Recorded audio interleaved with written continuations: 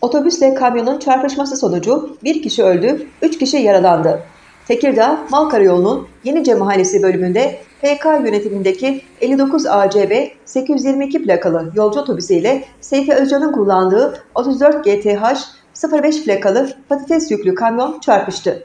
Kazada kamyon sürücüsü Özcan hayatını kaybetti, otobüs sürücüsü HK ile yolcular ZMD ve SK yaralandı. Çevredekilerin haber vermesi üzerine bölgeye sağlık, polis ve jandarma ekipleri sevk edildi.